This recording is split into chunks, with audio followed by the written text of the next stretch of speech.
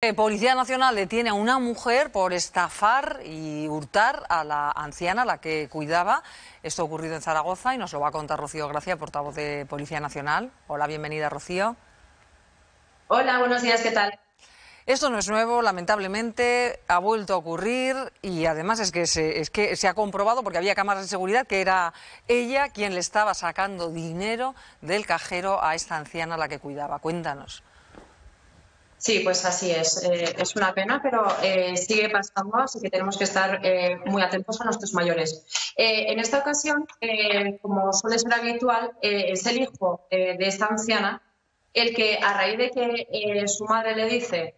que, ha visto, bueno, ha ido a sacar dinero y no tenía saldo suficiente y le ha extrañado que, evidentemente, ella sabe el dinero que va gastando y debería haber un dinero. Eh, entonces, inmediatamente el hijo lo que quiere hacer es verificar los movimientos de la cuenta bancaria de su madre y bueno, pues se un total de 33 cargos, de los que eh, no todos los había hecho la madre y bueno, pues unos 5.600 euros eran eh, extracciones de un cajero automático de un centro comercial de Zaragoza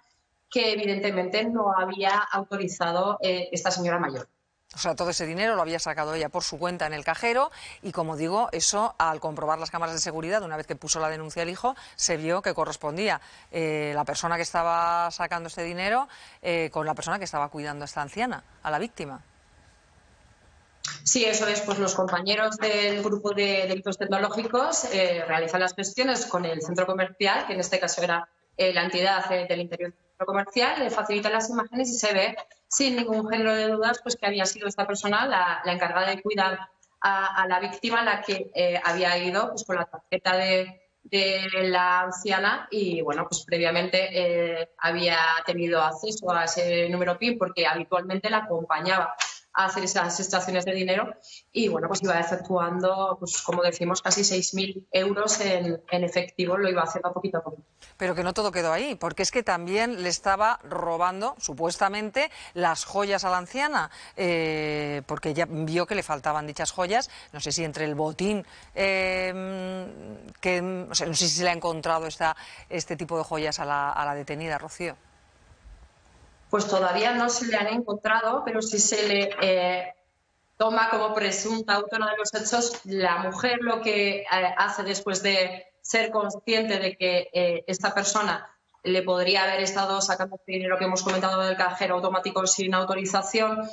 pues entonces va al armario donde tiene su joyero, donde guarda las joyas y se da cuenta de que le faltan gran parte, bueno, valoradas solo dos de ellas en, en 6.000 euros, y de ahí es cuando iniciamos una nueva investigación y a la espera de, saber qué ha pasado con estas joyas que probablemente, presuntamente, eh, también eh, ha hurtado eh, esta persona.